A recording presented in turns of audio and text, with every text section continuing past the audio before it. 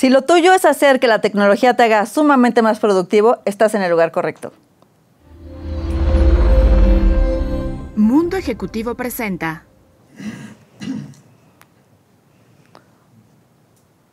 Hola, ¿cómo están? Bienvenidísimos. Estamos en Mundo Tech otra vez, felices de recibirlos. Y bueno, ya están en el programa que tienen que estar. Está a punto de acabarse este año, lo cual solo puede significar una cosa. Viene el Consumer Electronic Show, viene más tecnología, vienen más tendencias. ¿Cómo ves? Está increíble, ¿no? Es un año 2020 totalmente atípico, pero lo importante es que ya por fin vamos a dejar atrás el 2020. Y Ingrid, hoy preparamos un programa bastante interesante. Vamos a, tener todo tipo de temas. Pues vamos a hablar un poco, sí, de cómo las empresas tienen que hablar de su transformación digital, cómo ser más productivas y cómo se pueden diferenciar durante este pues, cierre de año y también para el 2021. Vamos a tener por ahí a la gente de BIN que nos va a hablar un poco pues de mantener a esta compañía, pues mantenerla en todo momento y activa, ¿no? También tenemos por ahí, vamos a hablar de electrónica de consumo. Vamos a tener a un súper expertazo y buen amigo que nos va a hablar de la industria de los videojuegos que cada vez crece y este 2020 creció como la espuma. También tenemos por ahí, creo que a la gente de AT&T, a la CEO interina de AT&T, que es la primera mexicana que lleva al final del día pues las riendas de, en el país de este transnacional. También por ahí una compañía de Nice y otros temas que los vamos a tener en este, en este programa, Ingrid. Buenísimo, pues no hay que perderse ni un minuto de este Mundo Tech.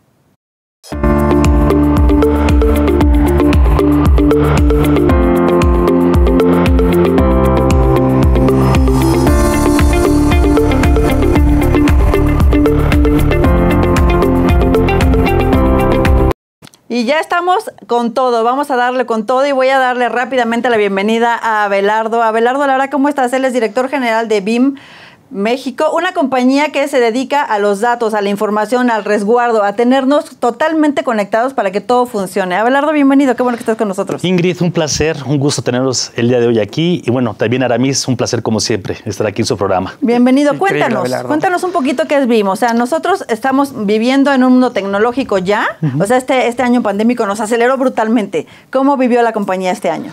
Mira, te comento, fíjate, bueno, contestando un poco la pregunta, BIM, BIM somos una compañía que estamos en el negocio de alta disponibilidad. Nosotros apoyamos normalmente a nuestros clientes a que siempre puedan estar disponibles para sus clientes.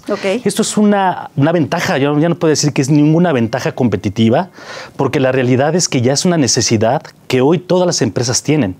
Tienen definitivamente que estar disponibles 7 por 24 los 365 días del año. Así es. Entonces, vamos a platicar un poco de esto y eh, comentarte también un poco por qué la importancia ¿no? de, de estar disponibles. ¿no? Este 2020 yo lo he, siempre lo he dicho, ¿no? Que ha sido un año definitivamente de mucho aprendizaje para todos. Totalmente. Eh, en este año, te puedo decir que puntualmente la compañía está teniendo un crecimiento de 30% año contra año. Y esto tiene mucho que ver con el tema de la transformación digital. Todas las compañías de tecnología normalmente venimos hablando de esta transformación digital, pero pues lo que hizo la pandemia es que de la noche a la mañana Aceleró. Tuvo, que acelerar el proceso, definitivamente, Ingrid. Tuvo que acelerar el proceso y nos trajo definitivamente a que de la noche a la mañana las empresas tenían que moverse a sus casas. Si bien o tradicionalmente muchas compañías ya estaban teniendo varios de sus sistemas para clientes, ¿no? usuarios finales, ya los podían hacer y trabajar de manera remota, la realidad es que toda la parte que yo denomino la parte del back office, todos los, por ejemplo, eh, los temas como recursos humanos, todo el tema de, de finanzas, etcétera, que las compañías tienen que tener habilitado para poder seguir operando, de la noche a la mañana tuvieron que hacer y, y transformar eso hacia un trabajo remoto ahí es donde BIM vino a apoyar a las compañías, ¿no? A poder estar disponibles y pues como saben también, pues hay ataques, ¿no? Hay hackeos. Durísimo este año de ciberataques, ¿no? Los ciberataques ha sido muy fuerte, eh, han crecido año contra año. Eh, ransomware, ¿no? Este, La gente de tecnología conocemos mucho este tipo de ataques. Eh, finalmente pues las empresas tenían que estar preparadas para precisamente poder estar disponibles y seguir operando. Entonces aquí es donde BIM vino a apoyarles en este proceso. En ese sentido es bastante interesante y creo que presentaban algunos estudios de lo que fue este 2020 y la importancia hacia el 2021 en el sentido de cómo las compañías tienen que estar preparadas, ¿no? Tenían por ahí estadísticas de que no, están no tienen disponibilidad. Es correcto. Se pierde mucho dinero si tu compañía no está disponible. Hoy, principalmente, que las ventas se dan en Internet. Si tu compañía no está, pues prácticamente estás perdiendo todo. Dos, la parte de la seguridad. Sabemos que con el tema de la pandemia pues ha crecido mucho todo el tema de ransomware, muchos temas de ciberseguridad. ¿Qué es lo que están haciendo hoy en día al final del día para blindar pues, a las compañías para el 20, para el 2021. Claro que sí, mira, efectivamente, Aramis, mira, nosotros hacemos año con año, hacemos un estudio de alta disponibilidad con nuestros clientes. Se hace una encuesta a nivel mundial, definitivamente hay clientes de México, en donde se les pregunta a más de 2.000 clientes anualmente cuáles son sus retos precisamente desde el punto de vista tecnológico. Ellos eh, nos han mencionado, el 35% de las compañías nos han mencionado que uno de los grandes retos son los temas de seguridad, precisamente, Ingrid, lo que platicábamos ahorita, ¿no? Segundo tema importante es la capacidad que tienen las empresas para poder de entregar la demanda que tienen de sus usuarios internos. Entonces ahí es donde nosotros hemos venido apoyándole a los clientes, ¿no? Yo que veo particularmente, eh, yo creo que definitivamente esta, esta nueva eh, pandemia ha venido a transformar al mundo. Entonces, definitivamente los negocios ya no van a ser como se venían haciendo tradicionalmente. Hoy yo creo que puntualmente todo lo que tiene que ver con el tema de comercio electrónico, mm. todo lo que tiene que ver, hoy no sé si les pasa a ustedes, ¿no? Yo lo trato siempre de, pues de poner ejemplos eh, que nos pasan día con día, ¿no? Yo tradicionalmente ahora, por ejemplo, ¿no? El súper, en la vida yo me había pensado hacerlo en línea, ¿no? Completo, ¿no? Sí, sí, Completo en línea, ¿no? Pero vas allá, ¿no? O sea, la gente que va a la casa y que, y que, y que nos ofrecían verduras, frutas y verduras, hoy las llevan particularmente a la casa, ¿no? Todo hoy, empresas han venido a transformar el mundo. Y ese tipo de compañías, estamos viendo también a nivel mundial cómo empresas han venido pues, eh, eh, a, perder poder en el, mercado. Empresas gigantes que antes teníamos. Que antes, no, unas chiquitas que no existían ahora de pronto ya son las boom, ¿no? Las Así empresas es. grandísimas. Y te voy a decir por qué, Ingrid. Yo creo que estamos en la era definitivamente de las ideas. O sea, yo creo que hoy una compañía con una muy buena idea puede transformar completamente el mundo. Si entiende el modo, este, digamos, de esta nueva normalidad, si le entiende, estás del otro lado. De acuerdo. la gente también está dispuesta, ¿no? Al final del día, hoy sí ya estamos dispuestos a comprar en Internet.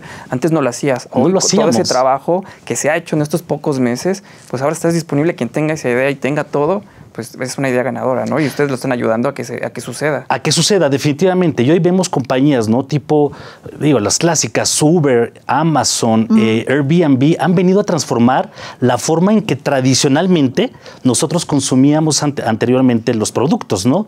Entonces, definitivamente, el 2021 yo veo que las compañías que van a ser muy exitosas son aquellas que, que tengan la capacidad de adaptación a esta nueva forma y esta nueva modalidad de hacer negocios en el mundo. Y aquí BIM definitivamente apoyamos a estas compañías a que puedan estar disponibles, que no tengan pérdidas de información, que no se caigan. Por ahí nosotros en, el reporte que nos comparten nuestros clientes, no sé si ustedes sabían, pero por cada hora que una compañía no está disponible, ellos están perdiendo en promedio alrededor de 65 mil dólares por hora por no estar disponibles, ¿no? Entonces son pérdidas millonarias, ¿no? O sea, si, una empresa no está disponible en un tiempo, eh, si tienen un hackeo, si no tienen o, no pueden estar operando para sus clientes, adicionalmente a las pérdidas económicas, vienen temas como también de insatisfacción por parte de los clientes. Totalmente. y hasta viene por parte de los usuarios. Perdón, sí. Eh, están justamente las encuestas que decían, aquellos que les ha ido o que fueron hacia el comercio electrónico y no tenían la satisfacción de cliente, no iban a regresar. Al final del día eso es súper importante que tengas toda una experiencia perfecta, al menos en el e-commerce. Es correcto. Hoy, hoy, hoy las generaciones están demandando, nos están demandando esto, nos están demandando que evidentemente si yo tengo un servicio, tengo un producto que quiero adquirir y no está disponible hoy, voy y busco otra opción. Además, lo comentábamos hace rato, ¿no? Eh, hoy, con toda la inteligencia que hay detrás de los negocios, si yo voy y busco que quiero comprar un automóvil, por decir un ejemplo, ¿no? Automáticamente en todas mis redes, ya sean sociales, te van apareciendo. te van apareciendo. Entonces, oye, ¿qué, ¿qué sucede? ¿Por qué de repente yo con una simple búsqueda empecé a tener alrededor de, pues me empezaron a bombardear con información y diferentes marcas, diferentes eh, proveedores de, automóviles, ¿no? Totalmente. Bueno, pues esta es, la, esta es la prueba de que también la tecnología tiene ángel de la guarda. Una de ellas es una compañía como BIM que resguarda los datos de todos los demás. Te agradecemos muchísimo, Abelardo, haber estado con nosotros. Tienes que regresar a seguirnos contando ahora cómo va a venir el 2021. Con, muchísimo gusto, Ingrid. Para mí es un placer, como siempre, estar aquí con ustedes. Muchas gracias por la invitación. Y ya saben, aquí estamos para apoyarles. Y con BIM, como saben, eh, nos dedicamos al tema de proteger los datos de nuestros clientes. Muchas gracias. Gracias. Ahorita regresamos, no se vayan, venimos más con gaming.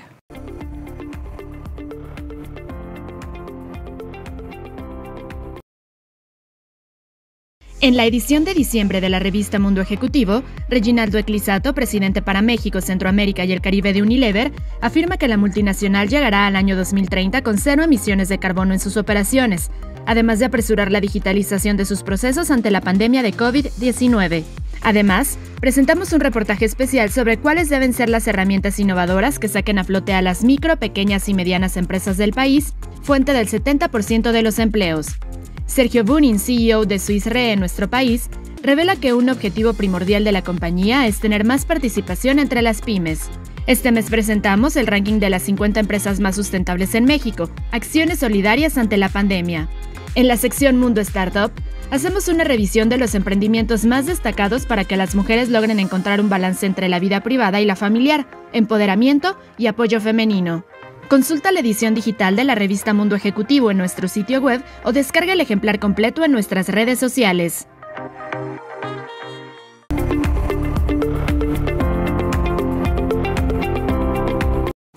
Y estamos de regreso, como bien lo habíamos mencionado. Ingrid, tenemos un invitado de lujo, nos va a platicar pues todo un expertise, no solamente en el mundo de la tecnología, también él es un experto en el mundo de los videojuegos. Aquí tenemos a Paul Lara, que al final del día pues es editor en jefe allí en, negocios en Excelsior, también tiene por ahí eSports, este desarrollo que también ha hecho con algunos amigos que les encanta la tecnología. Paul, ¿cómo estás? Muy bien, Araves, muchas gracias Ingrid. Bienvenidísimo, amigo super geek.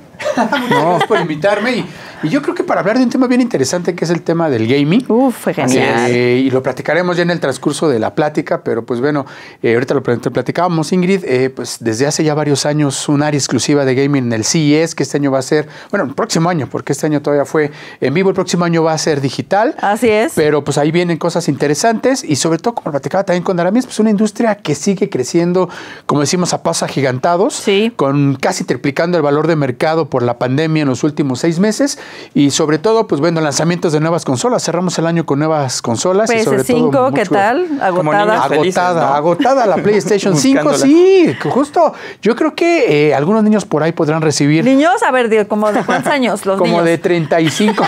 como de 40 para arriba. Como de 40 para arriba. Pero también ya no son juguetes tan baratos como sí, antes. Sí, claro, ¿no? Eh, fíjate que eh, según algunos datos que hemos visto, pues la mayoría de los que siguen jugando gaming son los chicos entre de, de, de 10 a 18 años, digamos que es la población general. Pero hay una gran parte de la población, sobre todo aquellos que tienen entre 24 a 45 años, que digamos que ya es esa generación que es económicamente... Eh, pues, ya trabaja. Ya, trabaja, ya, tiene la opción de poderse comprar un, juguete de 16, de 13 mil 400 pesos pero espérame, Tú estás hablando de la consola en sí, o sea, tenerla en tu casa, pero cuando viajábamos, ¿te acuerdas de esas épocas que viajábamos y que nos subíamos a los aviones? O sea, que te pones a jugar en tu teléfono y que hay aplicaciones y que hay la hardware. serpiente de Nokia de hace muchos años. Exacto.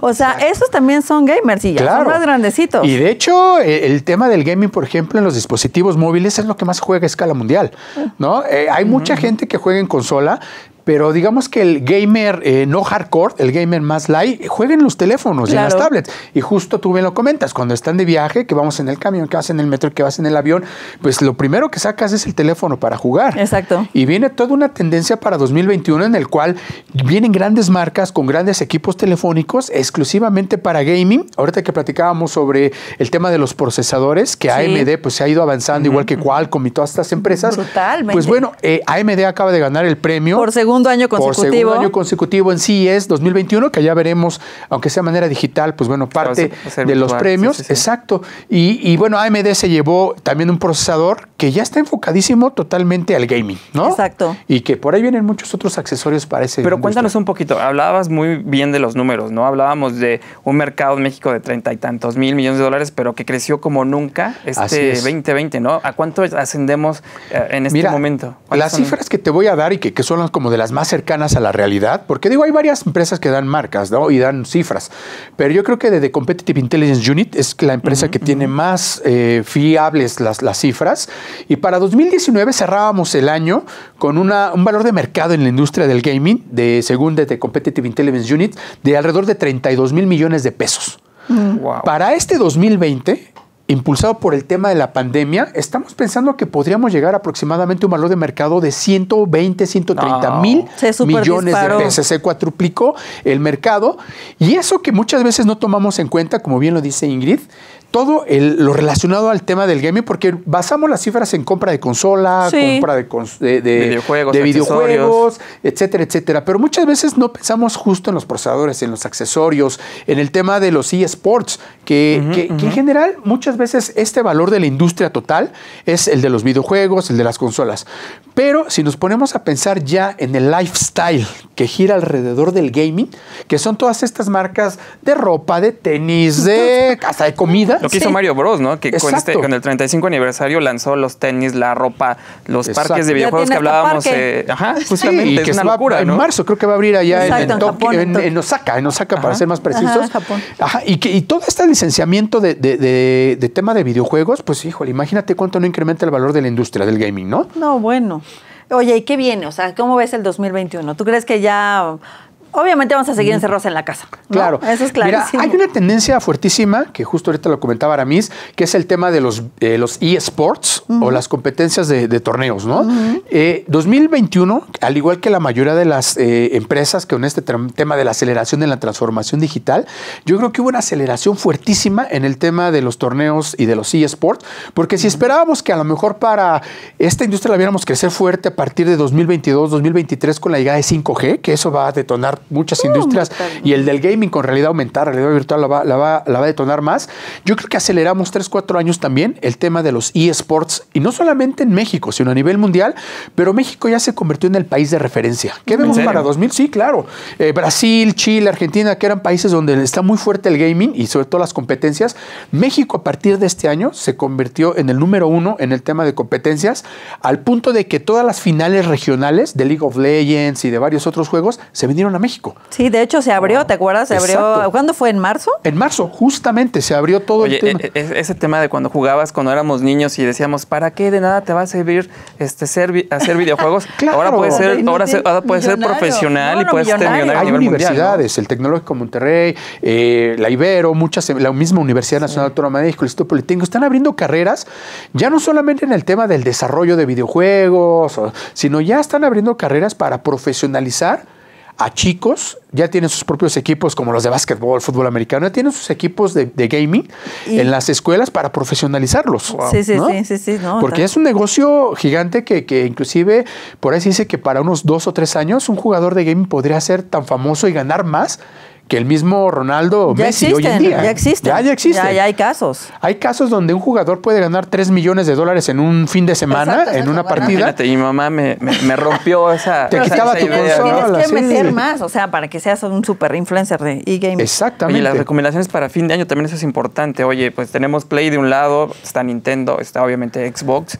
¿Cuáles son tus favoritos? Pues mira, yo siempre he sido igual que Ingrid, estoy casi seguro, siempre hemos sido generación PlayStation. Sí. De hecho, la consola está agotada, por ahí me comentaban que posiblemente a partir de la próxima semana llegue una consola, la digital, pero la disco llegaría hasta el próximo año.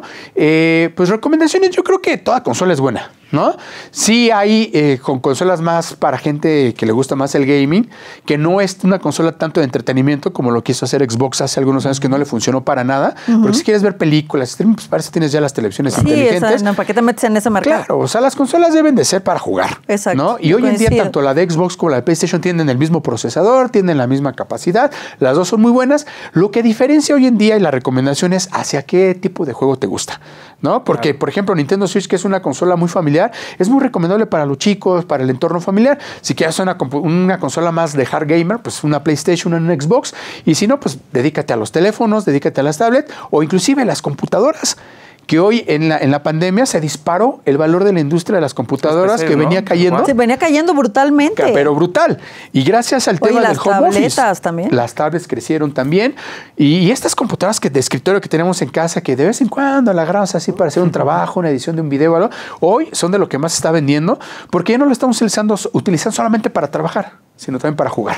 Sí, no, no, ha cambiado radicalmente. radical. Qué impresión este, que, que, la pandemia fue, ¿sabes qué? En meses nos echan a nadar y todo el mundo, hasta la gente grande, ¿no? O sea, viejitos y todo, ya no es de, ay, es que el bebé le das como si fuera un chupón, le das el, celular. Ahora ya te maneja la tableta y está metidísimo. Y para todos ellos hay mercado. No, y de que ah, menciona rápidamente de un mercado bien, bien interesante que son los adultos mayores, pensionados, jubilados, que hoy en día de, muchos se, se deprimen porque dicen, pues ahora qué hago, ¿no? No puedo salir, no puedo hacer nada pues hoy están en el gaming y les está yendo súper bien. Ya hay equipos profesionales de adultos mayores que están ganando competencias. No, pues está, genial. Está, increíble, Pau. Pues te agradecemos mucho la oportunidad de que has estado aquí con nosotros en Mundo Tech, pero seguramente vas a seguir estando aquí hablándonos de todo este pues, mundo tan increíble que es el mundo de los videojuegos. Yo con mucho gusto y muchas gracias a ustedes. Bienvenido siempre, Paul. Qué gusto. Muchas gracias.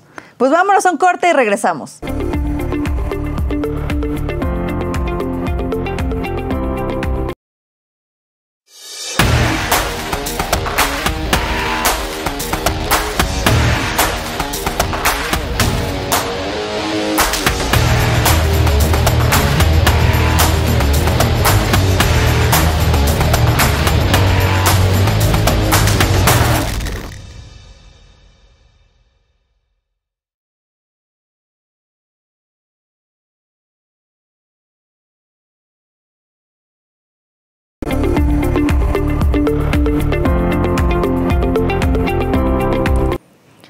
Hola, bienvenidos de regreso. Estamos muy contentos de tener una mujer súper poderosa con nosotros. Ella es Mónica Aspe, directora general interina de ATT México. ¿Pero qué decimos interina? Estás llevando la compañía, Mónica. ¿Cómo estás? Bienvenida. Hola, Mónica. Hola, Qué gusto saludarlos. Qué gustazo, Moni, tenerte con nosotros. Oye, estamos hablando un poquito de temas de pandemia y que si los datos y la información y todo lo que está pasando en estos momentos. Definitivamente el sector de las telecomunicaciones es fundamental para el desarrollo y el crecimiento de un país. ¿No lo crees así? Es fundamental, eh, es uno de los que caen al final cuando hay una recesión y de los primeros que regresan. Y además, como es muy transversal, ayuda a otros sectores a empezar a crecer. Así es que es un sector realmente clave para el crecimiento económico. Crece más o menos cuatro veces más rápido que la economía en su conjunto desde hace unos 10 años en México. Muy bien. Oye, Mónica, está increíble que podamos platicar contigo. Recordemos aquí en Mundo Ejecutivo, creo que tuvimos una entrevista hace algunos meses para Mujer Ejecutiva. Hace, el año pasado tuvimos la portada con Lauren hablando un poquito de ATT y este desarrollo, cinco años en el mercado mexicano. Eso es increíble y felicitar obviamente a ATT por obviamente esta constancia de estar en el mercado mexicano. Platicar contigo, el año pasado recuerdo muy bien esa portada que tuvimos con Lauren y hablábamos de que este pues 2019-2020 pues prácticamente AT&T estaría muy enfocado al final del día en pues todo el tema de las utilidades, ya después de armar la empresa, después de hacer todas estas conexiones, desarrollo de 4G, tener a 100 millones de mexicanos conectados. ¿Cómo pinta, cómo cierra este 2020 y 2021, obviamente con las riendas de Mónica, de Mónica Aspe? Bueno, pues son cinco años ya de ATT en, en, México. Relanzamos recientemente nuestra marca con esta frase de cambia el juego. Queremos seguir cambiando el juego. Cuando ATT llegó a México, cambió realmente el juego en el mercado. Bajaron mucho los precios, se duplicó prácticamente la penetración de los servicios eh, móviles y yo creo que como industria nos volvimos mejores porque eso es lo que pasa cuando hay más, eh, más competencia, ¿verdad? Todos nos volvemos eh, nos volvemos mejores. Hemos invertido casi 10 mil millones de dólares en el país en los últimos cinco años. más que invertido, una red que ahora cubre cerca de 100 millones. ¿Sí, perdona? Que son los que más han invertido en tecnología, ¿no? El carrier que más ha invertido en nuestro país ha sido AT&T al final del día. Ah, por mucho así es, estos son datos este, públicos del IFT, nuestro regulador de las telecomunicaciones, datos oficiales de inversión, y hemos invertido más de la mitad del total de las inversiones en el sector móvil, y así es que somos un jugador de adeveras, de compromiso con, eh, con México de largo plazo. Y preguntabas cómo queremos entrar al próximo año. Ya apuntabas algo bien importante que es la rentabilidad. Eh, queremos, eh, por supuesto, tener una empresa más rentable en México y para lograrlo nuestro foco está en el cliente. Todo nuestro foco en la estrategia de los últimos meses y hacia el 2021 es realmente distinguirnos por ser los mejores en cuanto a la experiencia al cliente. Y ya lo estamos demostrando, bajaron nuestras quejas ante Profeco, por ejemplo, de un año al otro 70%. Eh, Entonces, realmente eh, muy enfocados, somos imperfectos, nos falta todavía mucho, pero queremos ser todos los días mejores y realmente ganar en el mercado, centrándonos en la mejor experiencia para nuestros clientes. Oye, Moni, como bien decías al principio de estos cinco años, entraron en un mercado bien, bien difícil, que es el mercado mexicano, donde hay un jugador preponderante que tiene el 70% del mercado y entra ATT con una oferta súper disruptiva que nos ha permitido bajar los costos, bajar las tarifas a, celulares. La larga distancia también cambió completamente. ¿Cómo han sido estos cinco años? Este, de lucha, digamos, de inversión, que bien, bien dijiste, son los que más invierten, pero ¿qué ha sido para ATT, digamos, picar piedra en un mercado tan, tan difícil? Bueno, justamente el tema del relanzamiento de marca es importante porque es tomar conciencia de nuestro papel como el retador en el mercado, como el que tiene que innovar y el que tiene que tratar mejor a los clientes para que más quieran venir con nosotros y para que los clientes que tenemos quieran siempre quedarse, quedarse con nosotros. Y además de las ofertas comerciales en, datos que, son bien conocidas, eh, hemos sido también muy innovadores en otros temas. Lanzamos recientemente eh, DirecTV Go en México, por ejemplo, hemos entrado al lado de los, de los contenidos, un producto bien interesante porque junta eh, tele de paga, digamos, en el sentido de contenido lineal, eh, con servicios premium como HBO, como Fox y contenido local, deportes. Entonces, bien, bien interesante eh, el producto. Hemos lanzado también este tema que se llama DCB, Direct Carrier Billing, que es un método de pago para que los clientes puedan pagar eh, temas que compran en la economía digital, otros servicios a su factura telefónica y eso facilita mucho la adopción de los servicios digitales. Entonces, realmente estamos enfocados en diversificar nuestra oferta pensando en qué necesita el cliente y particularmente en esta coyuntura, ¿verdad? Que han cambiado de tal manera los hábitos de consumo en, términos pues de la digitalización tan rápida que nos ha traído eh, la pandemia. Sí, bueno, y los operadores que han estado sufriendo un poquito, vamos a decir sufriendo por decirlo de alguna forma, este, esta, este crecimiento de hiperconectividad de todos los usuarios que nos hemos tenido que mover, escuela, casa, todo, todo se ha vuelto como el centro de reunión en donde estamos todos hiperconectados para poder salir adelante. Y en ese sentido, ¿cómo ves la entrada de 5G en México? Bueno, esa es una pregunta bien interesante. Mira, en todo el mundo hay un momento, no es la primera vez que cambiamos de tecnología, ¿verdad? En las redes móviles pasamos por el 2G, el 3G, estamos ahorita en el 4G, vendrá el 5G. Y eh, todos los cambios de tecnología, eh, lo que sucede es que hay que esperar el momento óptimo del mercado y hay que irlo analizando de acuerdo a los casos de uso, es decir, a lo que hacen nuestros clientes cuándo realmente ya se necesita esa tecnología para hacer algo distinto por parte de nuestros clientes. Si lo hacemos antes, encarecemos los servicios porque son inversiones enormes. Si lo hacemos después, pues entonces nuestros clientes no tendrían esa experiencia. Entonces, realmente hay un momento óptimo donde no encarecemos los servicios y sí permitimos que nuestros clientes migren a esos nuevos usos tecnológicos eh, de la red. Así es que nosotros no hemos anunciado una fecha específica para México lo que sí estamos haciendo es sentando las bases en el despliegue de nuestra red y con un ojo muy claro en, qué están haciendo nuestros clientes y en qué momento van a necesitar que estemos listos para dar ese salto a la siguiente era tecnológica. Eso está increíble, eh, Mónica. Ojalá que ya pronto veamos las redes 5G, obviamente de ATT aquí en nuestro país, pero desde otra perspectiva, hemos también seguido muy de la mano a ATT trabajando, obviamente en el desarrollo de emprendedores, en este trabajo de cómo se utiliza eh, pues todo el tema de la red, eh, obviamente para las empresas, para las compañías, para desarrollar estos emprendedores. Cuéntame un poquito, pues que al final del día cuáles han sido sus resultados y seguramente trabajarán mucho para que el 2021 las compañías puedan salir adelante, obviamente con toda la tecnología de ATT. Bueno, trabajamos mucho con, las empresas, no solamente con, con este, usuarios individuales como ustedes o yo que podemos tener nuestra cuenta, ¿verdad? Sino también conectando empresas y con distintos servicios. Tenemos una, una red para Internet de las Cosas para poder conectar sensores industriales, en fin, eh, una serie de aplicaciones, control de flotillas, por ejemplo. Em, y hay un foco muy particular con pymes, con empresas pequeñas y medianas. Y esto es porque las pymes eh, tienen un reto particularmente importante ahorita, que es ante la velocidad de la transformación digital, las empresas grandes pueden tener oficinas dedicadas a transformación digital, pero las empresas pequeñas y medianas es más difícil hacerlo.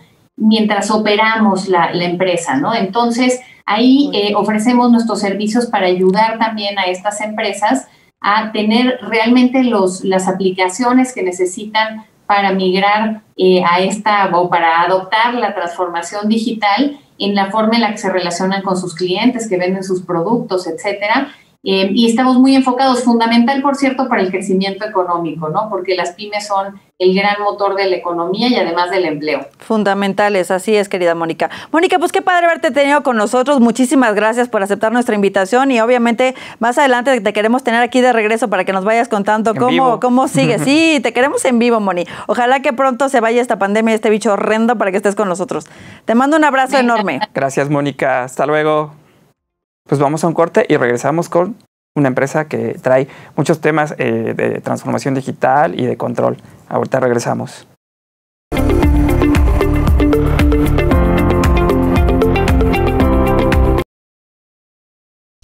Conoce el único Marketplace First Class que tenemos para ti. Encuentra lo que deseas en cualquier momento y desde cualquier lugar en Mi Shop, el sitio donde tendrás productos de la mejor calidad como alimentos, licores y una asombrosa galería de arte con piezas de los artistas más importantes del gremio. Visita nuestra página mishop.com.mx y comienza a disfrutar de nuestros exclusivos productos. Tus compras por internet nunca te habían dado tanto prestigio.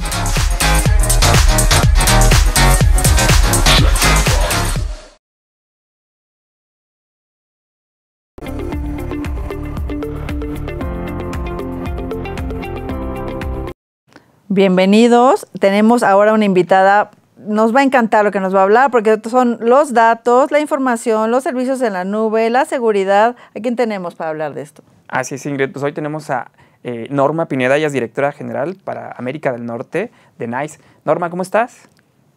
Hola, ¿qué tal? Muy buenas tardes. Muchas gracias por la invitación. Oye, pues nosotros encantados de que estés aquí con nosotros en Mundo Tech. Y cuéntanos un poco, lo que está haciendo NICE es verdaderamente impresionante, más en este momento de pandemia, pues al final del día mantener a las compañías eh, que sigan haciendo su trabajo, que sigan obviamente atendiendo a clientes. Yo creo que eso es fundamental y yo creo que lo que está haciendo NICE es súper importante porque las mantiene pues prácticamente en línea, ¿no, Norma? Bueno, totalmente de acuerdo contigo, pero más que mantenernos ya todos trabajando desde casa y haciendo un trabajo remoto, que al principio todos pensábamos que íbamos a hacer un tiempo corto, que fácilmente íbamos a regresar. Creo que lo más importante después ya es empezar a medir la productividad, los niveles de atención de la gente, ¿no? ¿No? Estamos todos dispersos, estamos cada uno en sus casas queriendo tomar horarios diferentes queriendo adecuar y entonces las compañías necesitan plataformas tecnológicas que no solamente les den herramientas a la gente para que se vaya a sus casas o a trabajar desde la montaña donde tengas un internet. Lo más importante es ahora cómo mido y cómo tengo la, cómo tengo la, la certeza de que estoy brindando el nivel de servicio externo, clientes externos, interno a mi personal, de lo que ellos esperan. Y es aquí donde NICE tiene una solución completa, 100% nube, que nace de nube, y, que todo esto permite también una flexibilidad, ¿no? una elasticidad de crecimiento, una flexibilidad para movernos. Se acaban los parches, se acaban los upgrades, se acaba el mantenimiento. Esto queda responsabilidad de NICE todo en nube. Quiero poner 20 personas fuera mañana para atender a un problemas internos, los pongo. Quiero poner gente fuera para dar servicio al cliente, lo puedo hacer. Y todo esto bajo diferentes herramientas de medición para, vuelvo al tema, empleados y para clientes externos. Estamos hablando de que gracias a NICE podemos ser muchísimo más productivos y poder medir esa productividad, ¿no, Norma? Podemos ser más productivos, pero también, ¿sabes? Podemos medir qué está haciendo la gente. y no este porque pensamos que no están trabajando. Yo creo que todos estamos de acuerdo que ahora trabajamos más. Definitivamente. Entonces también es, ¿qué sienten nuestros empleados?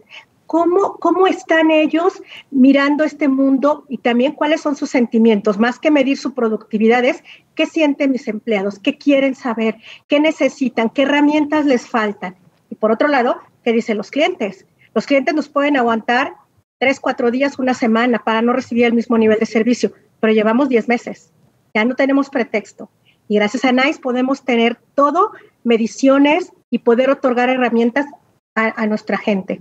Es gracias a NICE y gracias a esta pues solución que es CX One, ¿no? Cuéntanos un poquito sobre ella, porque al final el día es el nombre que tienen en el mercado y que seguramente muchas compañías pueden pues adquirirla y pues tener esta certidumbre de lo que está pasando con su equipo, eh, su equipo de capital humano, ¿no? Yo, creo que eso es fundamental. CX One es una tecnología, como les digo, que nace de una compañía que se llama Incontact, la compra NICE, y hoy NICE tiene más de medio millón de gentes trabajando en todo el mundo con la plataforma y con la herramienta de CX One. Está llegando a México a partir de esta pandemia, a partir de junio, es conocemos el lanzamiento, está en todo el mundo. A principios de año entró a Canadá, entró a Brasil y ahora bajo mi responsabilidad que viene desde Colombia hasta México, estamos haciendo la introducción oficial. Es muy sencillo, es dar una licencia a la gente. ¿Qué quiero medir yo? Y tengo diferentes módulos. Quiero medir a la gente de afuera, qué dicen mis clientes, analizar las interacciones que tengo con mis clientes. Quiero, quiero analizar qué se dice en el mundo de las redes sociales. Quiero analizar el comportamiento de mis empleados, cuánta gente tengo, a qué, cuánto tiempo trabajan, están usando las herramientas que les damos, les falta algún tipo de motivación. Hago juegos con mi gente para motivarlos, quién trabaja más, quién da más, todo montado en una nube, no hay inversiones, no hay hardware, no existe ya, vuelvo a repetir, ni el mantenimiento, ni los parches. Quiero crecer 10, quiero 20, quiero 50. En Estados Unidos, al inicio de esta pandemia, reaccionamos en menos de 72 horas para habilitar y mover agentes, fueran clientes o no fueran clientes de NICE. Tratábamos de ayudar mucho a, las empresas que nos solicitaban ayuda.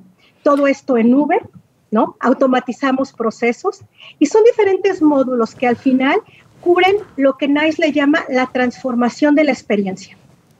Oye, y esto que dicen que la tecnología es fría, claro que no, o sea, lo que nos estás diciendo es maravilloso, sobre todo en una situación como esta, que estamos tan alejados, ¿cómo la, cómo la tecnología, nada que ver, puede ser muy empática?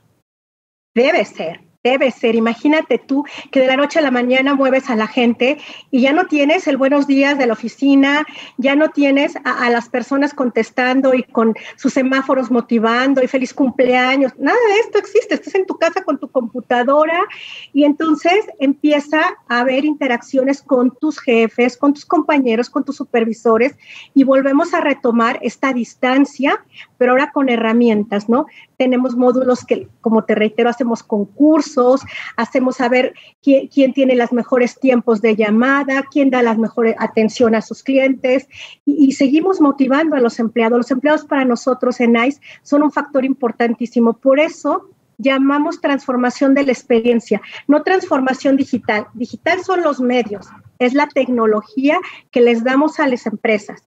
Pero ¿y los clientes? ¿Y la medición de los clientes? ¿Qué dicen los clientes de mi empresa? ¿Y la medición de mis empleados? Y las herramientas para ayudarlos, todo esto NICE lo denomina como transformación de la experiencia.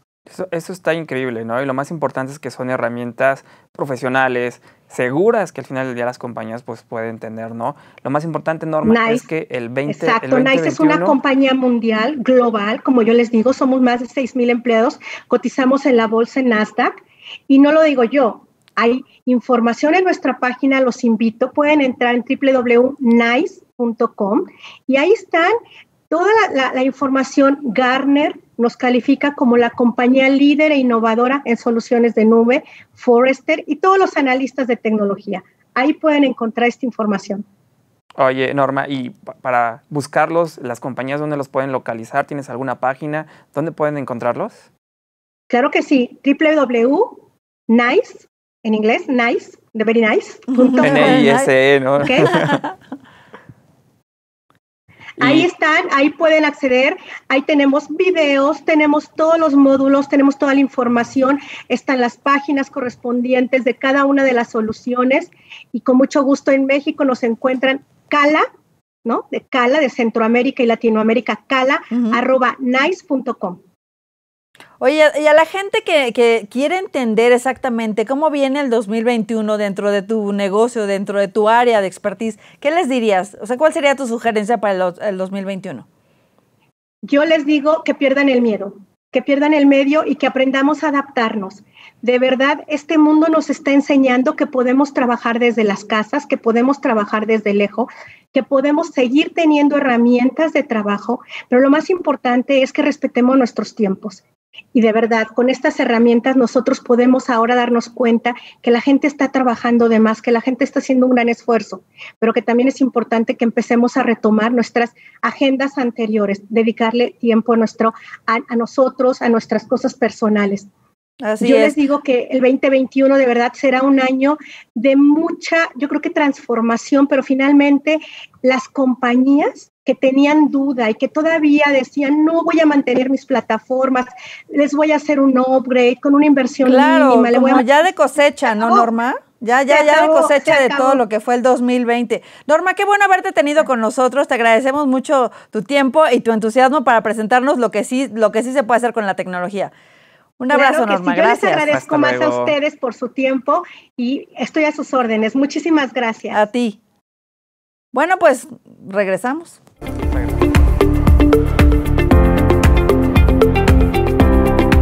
En la edición de diciembre de la revista Mundo Ejecutivo, Reginaldo Eclisato, presidente para México, Centroamérica y el Caribe de Unilever, afirma que la multinacional llegará al año 2030 con cero emisiones de carbono en sus operaciones, además de apresurar la digitalización de sus procesos ante la pandemia de COVID-19.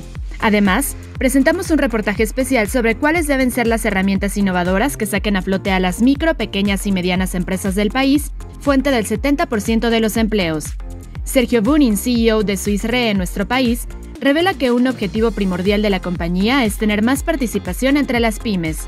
Este mes presentamos el ranking de las 50 empresas más sustentables en México, acciones solidarias ante la pandemia.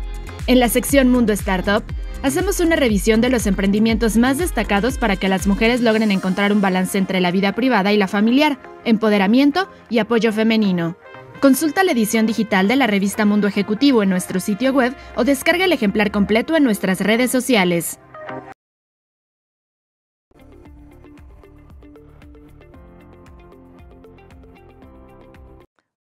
Hola de regreso, ya estamos muy contentos porque ahora tenemos a Huawei, empresa poderosísima. Vamos a hablar de un tema increíblemente bueno y para eso tenemos a David Moeno. Eres el director de Relaciones Públicas de Huawei México. ¿Cómo ves? Padrísimo. Está increíble. Lo entrevistamos eh, hace algunos días y tenemos esta entrevista en Full Track. David Moino al final del día es el estratega que logró posicionar la parte de electrónica de consumo de Huawei aquí en nuestro país. Tuvimos oportunidad de platicarlo. Él se encarga de desarrollar pues, la marca no solamente en nuestro país, sino en toda la región. Prácticamente conoce los recovecos eh, que tiene esta compañía. Lo entrevistamos sobre los últimos lanzamientos que tuvieron hace algunos días y nos platica sobre esto. Bienvenido, David. Eh, parte de nuestra estrategia eh, de producto se divide en dos temas muy claves, ¿no? El primero es la parte de la construcción del ecosistema, que justamente es la respuesta a lo primero que dijiste de, bueno, pues yo pensé que nada más venía el Mate y alguna cosita por ahí, pero llegan tantos productos, temas de audio, temas de wearables, temas de ecosistema en la parte de software, y eso es porque estamos construyendo este ecosistema inteligente, un ecosistema propio, pero abierto a la vez. Tú sabes que nuestra estrategia de producto tiene una filosofía que se llama 1 más 8 más n, donde el 1 es el smartphone, que es y siempre será el portal de entrada a la vida digital conectada. Smartphones que, como tú sabes, ya desde hace varias generaciones no nada más cuentan con cámaras excepcionales, duración de batería eh, ejemplar, sino que incorporan tecnologías clave que para Huawei han sido parte, el pilar de su investigación y desarrollo desde hace varios años, como por ejemplo la inteligencia artificial a bordo, ¿no? Fuimos de los primeros en incluir eh, on-device AI o inteligencia artificial a bordo de los dispositivos y ahora ya es una pues ya es una norma de la industria, ¿no? Ya tantos productos lo tienen, ¿no? Porque también está muy asociado no nada más a la experiencia, sino también a la conectividad. El 8 son estos portales alternativos o complementarios. Ya ni siquiera te voy a decir que son accesorios porque son productos que en su propio derecho son excepcionales. En muchos de ellos o en muchas de esas categorías ya tenemos posiciones de liderazgo, por ejemplo, toda la parte de smartwatches, de wearables. Eh, tenemos ahí crecimientos tremendos, aceptación increíble en todo el mundo y por supuesto en México y en Latinoamérica. Eh, la prueba de esto es, por ejemplo, el producto que lanzamos hace prácticamente un mes en los principales mercados, eh, que fue el Huawei Watch Fit, que ha tenido una acogida de ventas tremenda.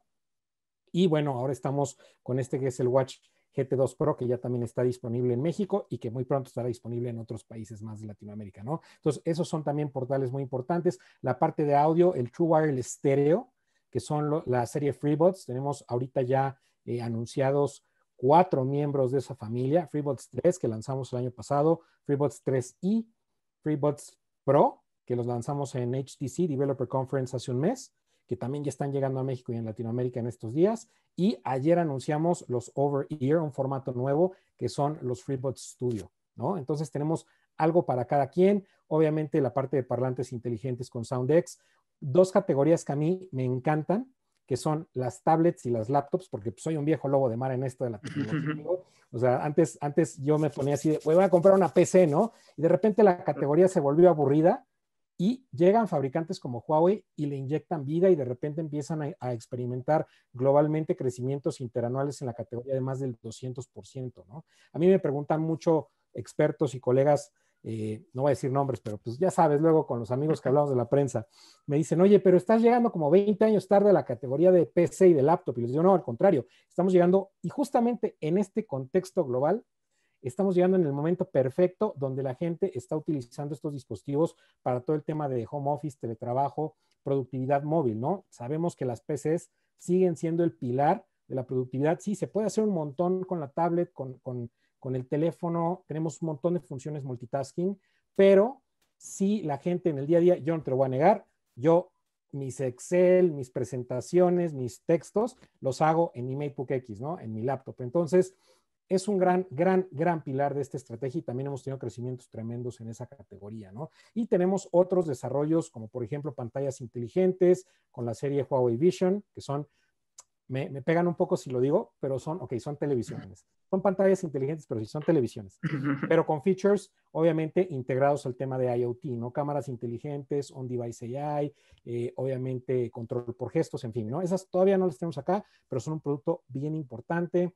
Eh, integración con sistemas automotrices de entretenimiento de información en los vehículos, que eso tampoco lo tenemos acá, pero bueno, también son desarrollos parte de este ecosistema de este 8 tan robusto, ¿no? Y las tablets que también las hemos redefinido, que antes eran nada más literal para leer textos y ver videos, ahora ya también son máquinas de productividad, se integran perfectamente con otros equipos como los smartphones y eso nos ha ayudado a crear el ecosistema de hardware como lo conocemos, ¿no? Ahora, uno muy importante es cómo impulsas ese hardware, es el ecosistema de software con los HMS, los Huawei Mobile Services, que son los servicios clave que impulsan los dispositivos de última generación que estamos lanzando, sobre todo en categorías como tablet y smartphone, que siguen siendo pilares importantes.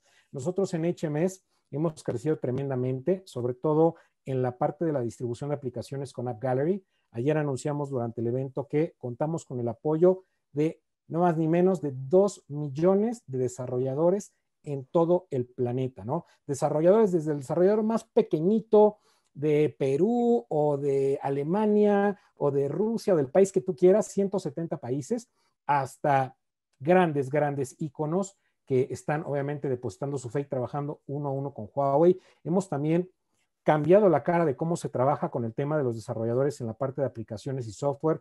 Tú sabes que todos nuestros desarrollos, como los 56 SDKs, creo que tenemos en HMS Core 5.0 y obviamente nuestras más de 12.000 APIs son totalmente de código abierto.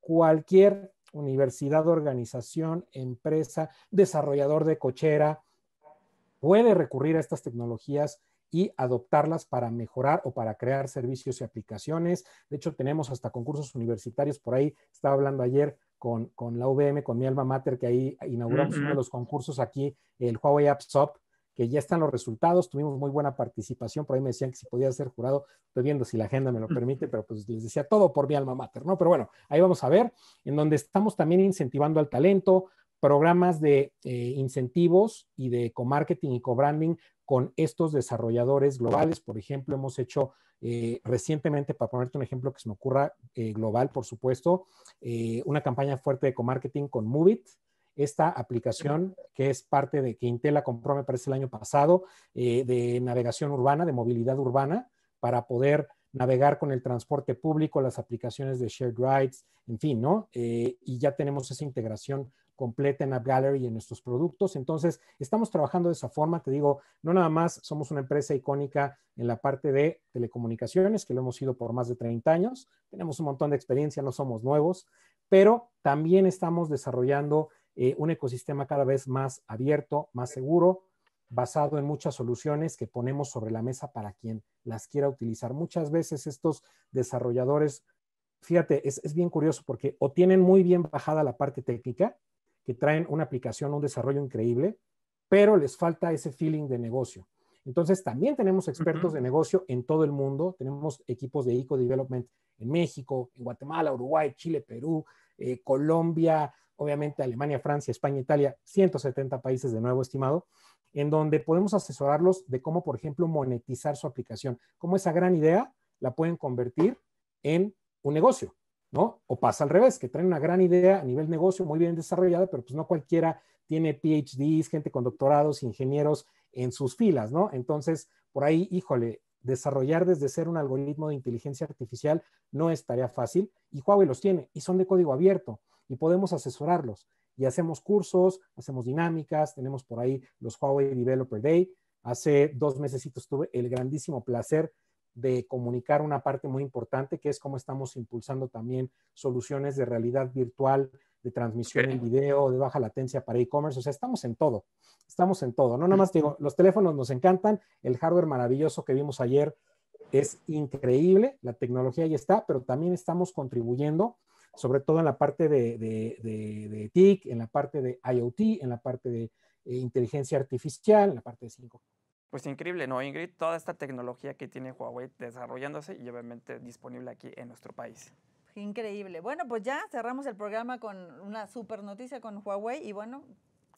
Pues hay que pues, despedirnos. Prácticamente estamos ya cerrando este año, Ingrid, pero no olviden obviamente seguirnos en las redes sociales de Mundo Ejecutivo. También estamos en Mundo Ejecutivo TV ahora en el canal 168 de Total Play, pero también en las redes sociales también de Mundo Ejecutivo. Pueden ahí darle eh, seguir, ya sea en Facebook, también en Instagram, obviamente en nuestras plataformas, que ahí pues no se van a salvar tanto de Ingrid. No, a mí también me pueden seguir en Twitter, arroba Ingrid Mota, Mota con doble T y...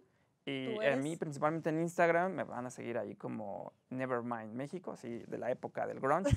Perdón, todo el mundo se burla de ese tema, pero bueno, se nos fue este programa Ingrid y pues muchas gracias. No, gracias a ti y nos vemos la próxima semana. Hasta.